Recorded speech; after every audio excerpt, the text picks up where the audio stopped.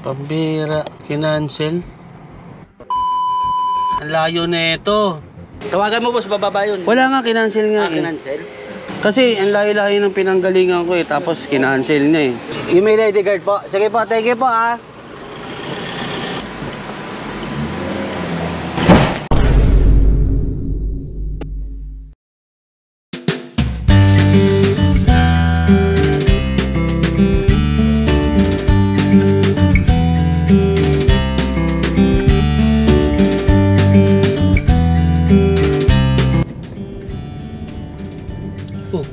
Na pala kayo, guys. Hindi nyo man lang sinabi. Sana nakapaganda ako ng ano, merienda. Day!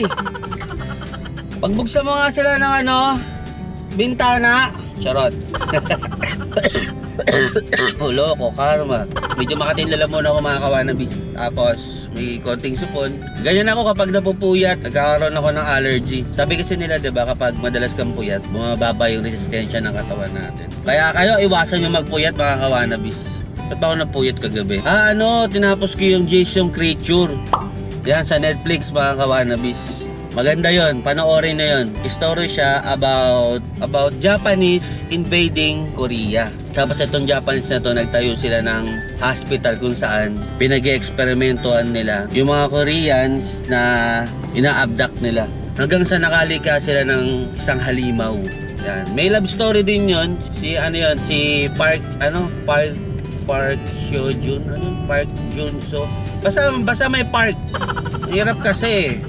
Anyway, mga kawanabis, may booking na tayo. So, 10 minutes away with 2.5 kilometers yung pick-up location niya. Pasig City natin pipick upin. And then, dadalhin natin ng Mandaluyong. So, ang fare natin dito ay 437 pesos. Pasig to Mandaluyong. O, di ba? Malaki? O, tara, samahan niyo ako sa biyahe ko. Hello po, good afternoon, Lala Move po. Ay, kaya ma'am, Bes na Bes. Sir? Apo, andito na po ako sa labas. ah, sige sir, malalabos ako sir. Wait lang. Apo, thank you po. Sige sir, sige sir. Sir, kayo po? Lala Move? Apo, apo, apo. Ito, basong salamin? Nandito sir sa. Sal- Do, patabang sa kudo. Thank you, do. Ah, pa. Kanino? Ay, Patulong na lang, do. Mahaba po ba, sir? Ito lang sir. Ano na to? Kasya kaya yan sa, ano, sa compartment? Ah, yan lang. Ito, to. Okay, ito lang. Ah, kasya yan, sir. Gumagawa kayo ng mga salamin, sir. Oo, gumagawa kami sir. Ako na, ako na. Ito, ito, ito yung mga gawa niyo, sir, no? Na, ano na to sir? Online ba? Online. Online yung amin dito. Naku, mukhang mapapabili ako dito, sir. Pwede naman sir. Oo, ang pogi ko rito sa salamin mo, sir. Ano to lang yan sir? Ha? Nagsabi ng totoo. Nakakapogi, no? Nagsabi ng totoo yan sa lamin. Ayan, sir, oh. Yung iba, sabi, naging piolo daw sila pag nangalamin eh. Tingnan natin, sir, kung nagsasabi ng totoo. Tingnan mo to, tingnan mo to. Ayan, tingnan mo. Salamin, salamin. Sino mas pogi sa amin? Eh! Kasya, kasya. Ayan. Ano, ah, babae ba mag-receive nito? Babayan sir. Maganda? okay, thanks. Salamat ha. Sige, sige. Ayos, ayos mga kawanabi. So, item pick up.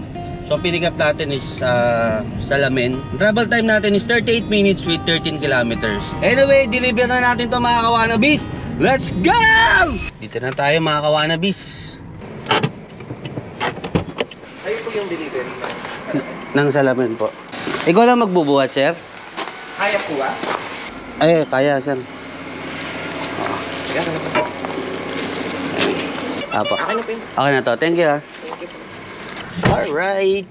Alright, so yung mga kawanabis item drop off. Tapos may pumasok agad na booking sa atin dito. So pipick upin natin dito sa may bandang San Juan.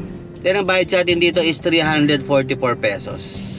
Yan, San Juan going to Taguig City. So pick upin na natin mga kawanabis. Alright, let's go! Alright mga kawanabis, nandito na tayo sa pick up location natin. San Juan. Ha? Cancelled?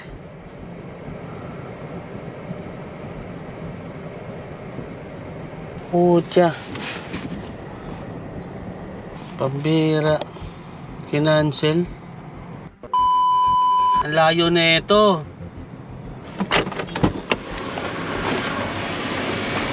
Boss, meron ba dito ano, nagbebenta ng flowers?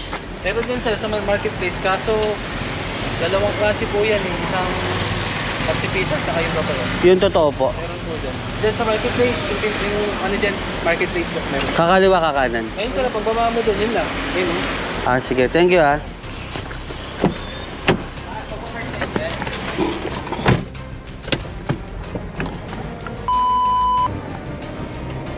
ah. Pa-trip yun ah. Pupuntahan ko yun mga kawanabis.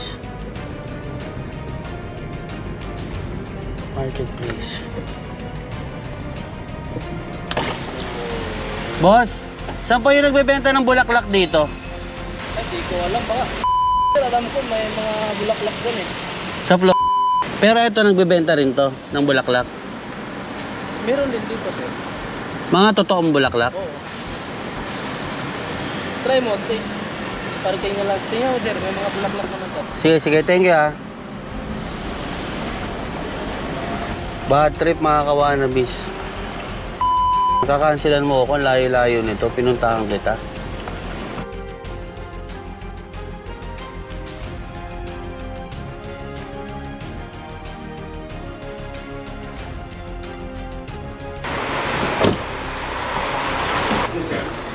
Nag, nag, nagbebenta rin ba kayo ng bulaklak? Sa second floor po. Tanong kung ano naka-icon man. Okay, thank you. Hello, sir. May order kasi sa akin lalamove, Ah, ano yun sir? bulaklak. Saan po ba yan? Ay, tawagan mo sir, bababa yun. Bababa? Oo. Order sa'yo o ikaw magdi-deliver? Saan pinipick up po ba? Dito sir, sa taas kasi yan eh. Pero saan nyo natitinda ng ano? Dito boss, sa taas block. Tawagan mo boss, bababa yun. Wala nga, kinancel nga Ah, eh. kinancel? Pa, may konta ka ba nun? Ng... Ano yung nagbebenta na yan? Saan ma pwede makausap yan? Kasi ang layo-layo ng pinanggalingan ko eh, tapos kinancel niya eh. Ayun sir. Ito po, tunta. Pasok ka tama. Okay, thank you. Di ako papayag, no?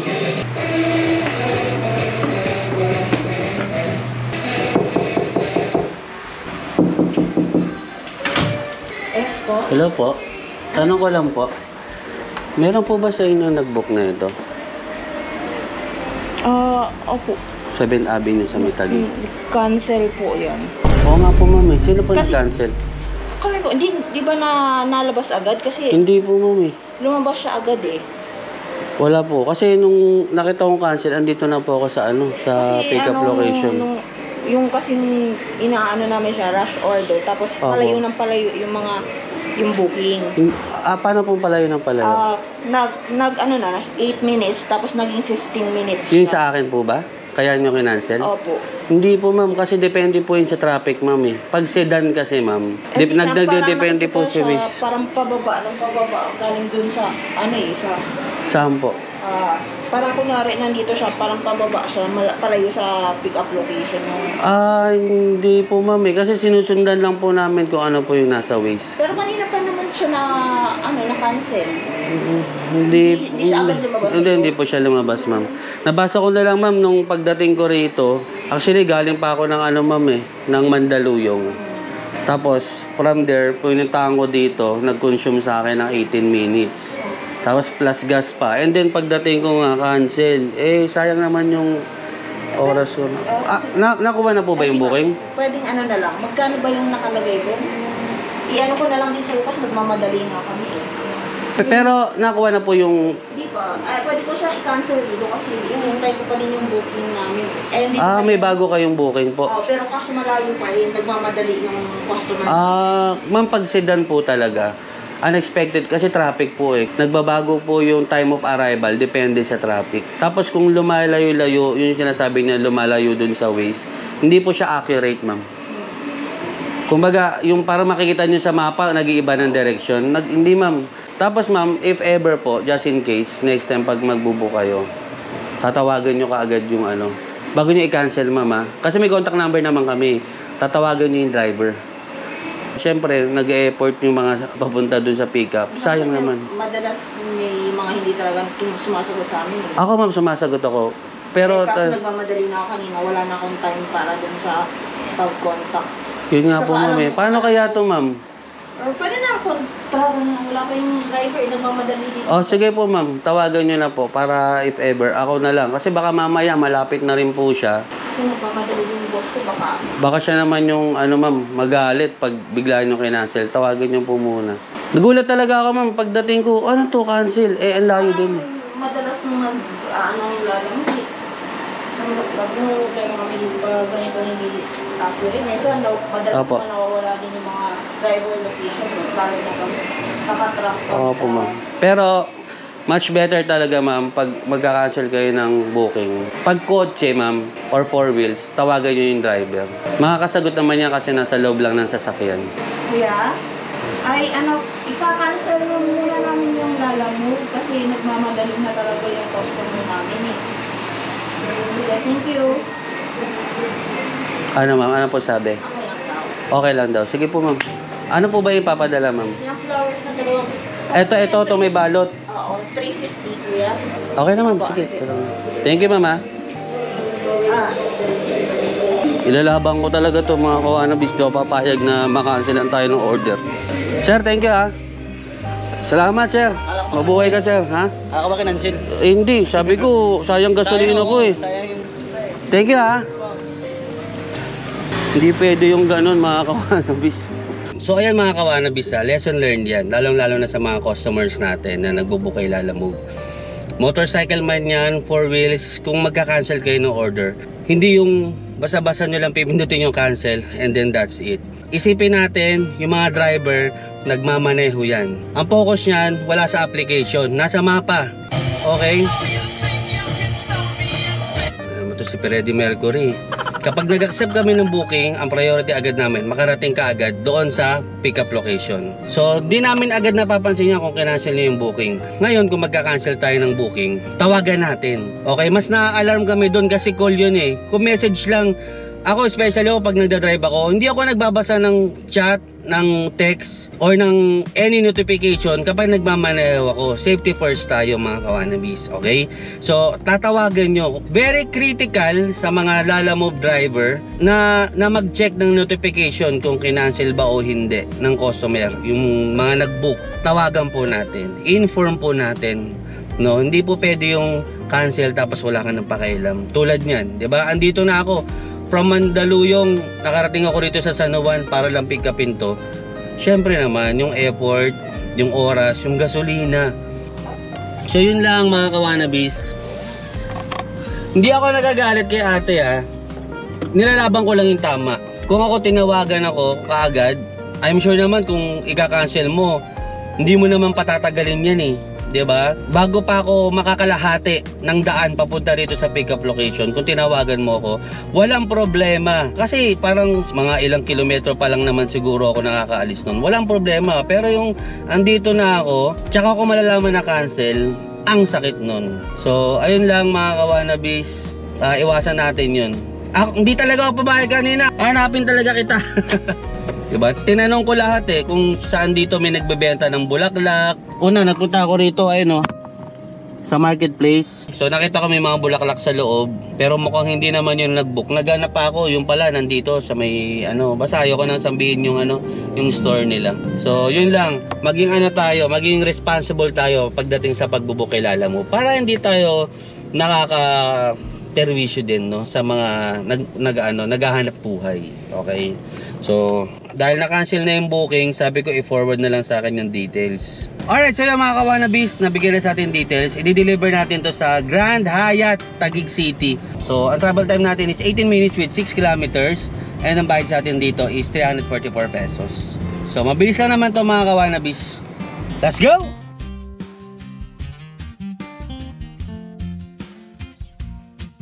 Alright mga kawanabis, welcome to BGC. So, Grand Hyatt, dito tayo magda-drop off. Kanina kasi na-record ko yung sarili ko na habang natutulog. Humihilig pala ako mga kawanabis.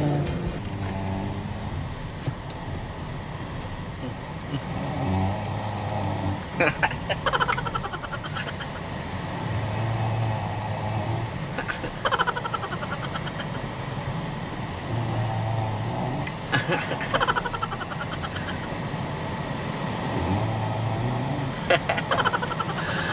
Lang, di ba? Parang fascinating siya mga kawanabis. Try nyo rin.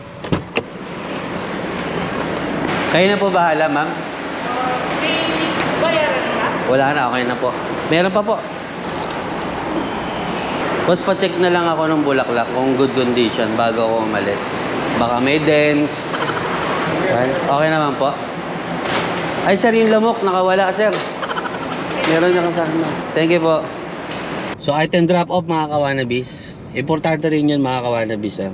Ah, keep in mind na kapag magde-deliver tayo, lalo na yung mga ganong sensitive na item, bulaklak, ganyan. Pa-double check nyo muna sa mga mag-receive na good condition yung mga ganong klaseng package kapag dineliver. Baka mamaya kasi, pag alis nyo, tapos let's say si kuya, nasira niya, baka ta- sa atin isisi, di ba? So, mabuti na rin yung sigurado. Mukhang mamahalin yung mga bulaklak, mga kawanabis eh. Anyway, mag-accept na tayo ng panibagong bukyaw. Pero bago ang lahat, magbabasa muna tayo sa comment section ng mga katanungan. Okay mga kawanabis, may tanong dito. Idol, nakakamagkano ka sa gas kada biyahe? Siguro nakakaano ko, 250 to 300 pesos na gasolina. Since part-time pa lang naman tayo mga kawanabis. So, ibang usapan kapag ano na, pag full-time na syempre mas maraming biyahe, mas maraming gas consumption. Ayan. So may comment din dito si Inuyasha underscore TV. Someday gagamitin ko referral mo, Lodi. Waiting na lang ako sa sasakyan ko. Eto, just to clarify lang mga kawanabis ha, hindi ko kayo ini-encourage na mangutang sa bangko ng sasakyan or bumili ng brand yung sasakyan para ipasok kay Lala Move. Hindi ko po yan nire-recommend mga kawanabis. Kagaya nga ng sinabi ko nung nakaraan, kaya ako nagdadrive ng Lala Move sedan kasi gusto kong kumita ng extra. Gusto ko yung pinababayad ko sa monthly amortization ko sa sasakyan.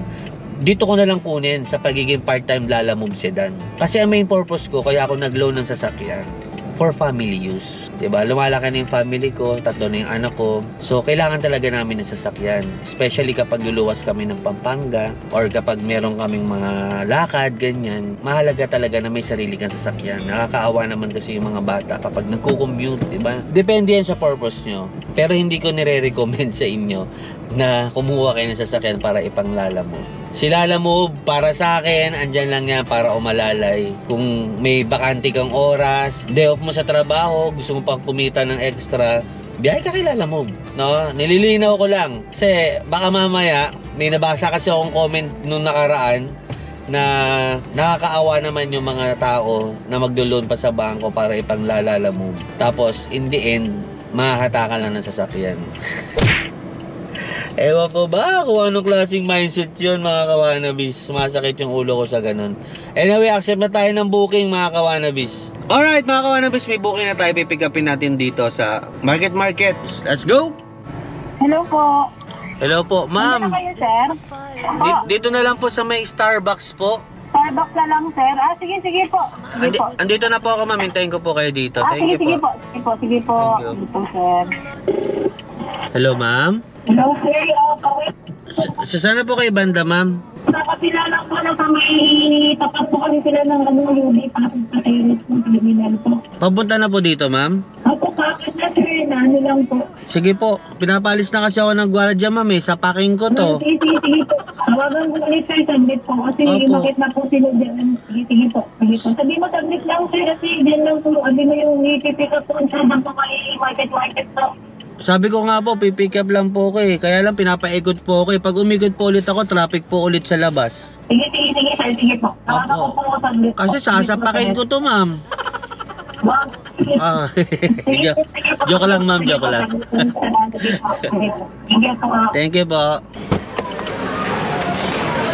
Yes, ma'am.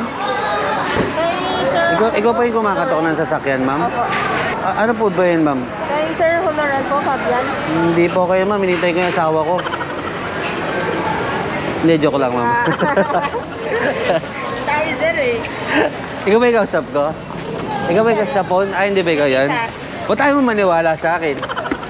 Alam, may issue ka, ha? Kasi tama yung ano, Ano? sir. eh, Sinad yung... Tama yung plaka? Ay, nahuli ako sa plaka. Ay, paprank sana kita eh. Sayang, nasa- nanalo ka sana 10,000. Wait lang mayroon pa. Ah, meron ba? Prank sana kita eh. Nanalo ka sana 10,000. Eh, nabuko mo ako eh. Start ka pala, sir, ah. Oo, ipaprank sana kita eh. Gusto mo, ano na, ulitin natin para makuha mo yung 10,000. Ano? Hindi. Sayang. Hindi, mas maganda kasi pag natural eh. Dami pala niyan. Sabi sa akin, isang tray lang ng itlog. thank you, thank you. Okay na po? Okay na, ma'am. 7, 8, 9, 10, 11. 11 boxes. Sige, sir. Ayan. Naka-receive na lang. Save ko ha. Baka prank to, baka may kuryente to ha. Wala yan, sir. dito, dito. Aba. Tapos ito, resibo niya to. Ah, sir. Kailangan kong pirmahan, di na. Ay, hindi na, sir. Pasuyin na Okay na to. Sige, salamat Sige, ha. Salamat. Alright, so mga kawanabis, ang travel time natin is 18 minutes with 7.1 kilometers. Tagig to tagig mga kawanabis, ang fare natin dito ay 292 pesos. 'di ba? 'Di ba? 'Di ba? 'Di ba? 'Di ba? 'Di ba? 'Di ba? Pwede na. So again mga kawanabis, kung meron kayong mga sasakyan diyan na hindi niyo masyadong ginagamit or kung naguhulog kayo ng mga sasakyan, gusto niyo magkaroon ng extra kita kaysa nakaparada lang sa mga bahay-bahay niyo. Pwede kayong mag part-time dito sa Lala Move. Mag-register lang kayo gamit yung aking link Ipipin ko sa baba. Ayan. So, i-click nyo lang yun mga kawanabis. So, bakit ko pinopromote yung link ko? Siyempre, meron tayong referral dyan. Pero yung referral fee, hindi lang din sa akin mapupunta.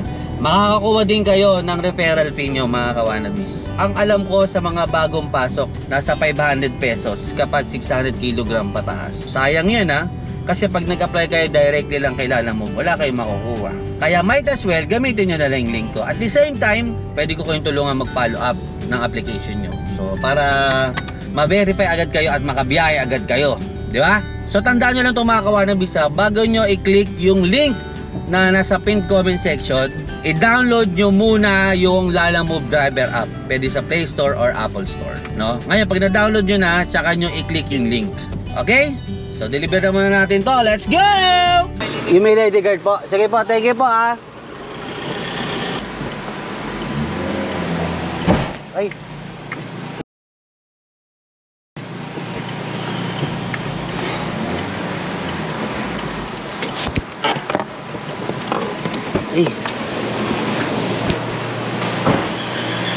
Mama.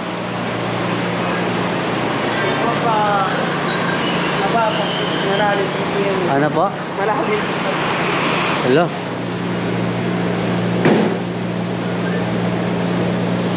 Mama. Kanina kasi nagdiretso siya ng pato. Ayan o, ayan o. Dito ako. Yan o, baka yung mga pimpotso yung silalim. Okay naman, ma'am. Opo, tumama yung bakal. Hindi kaya, sir eh. Hindi kaya. Tumama na ako kanina eh. Bakit ganito? Sino nag-design nito, ma'am? Hindi, ano kasi yan sa gulong. Kasi nilalagyan ko yan ng tubig. Ah. Hindi, hindi, kasi pwede, pwedeng diretso yan sir eh. hindi pwedeng maliliit na sasakyan dyan, ma'am. Hindi pwedeng maliliit. Ang dito lang. Mga L3 lang sir. L3 lang talaga. Pero pag mga ganyan po, bababa na lang. Bumaldug eh. yung mga malalaki. Tumama yung dekuran natin. Bali, 350 to, ma'am. Akala ko nga kanina, Sir Paulo, eh. Ako, ma'am, yung pagdating ko, ma'am. Sino pa ba si Sir Paulo, ma'am? Ba't parang natatakot kayo sa kanya? General Manager. Ah, general manager. Para sa kami ng kotse, ma'am. Hindi po. May hawig sa inyo. Ah, may hawig. Sino mas pogi sa amin, ma'am? Si Sir pa. Ay, si Sir. Ah, ganun. Gawin mo kasi. ka- Ganyan Okay, din katawan na. Ganun din po. Akala ko talaga, Sir Paulo. kasi Sino mas pogi sa amin, ma'am? siya. Ay, ganun. Pero magkamukha talaga kayo doon. May hawig. May hawig po kami. Yung umpis ng mukha, yung... Kaya lang, mas pogi sa akin, ma'am eh. Yung problema eh. Sino mas mabango, ma'am? Tingin mo. Ay, hindi ko po ma- Amay, amay mo ako, ma'am. Yun. Amay mo ako, ma'am. Lagi mo ah, pa- Laging mabango yon? Nag- Ay, ganun.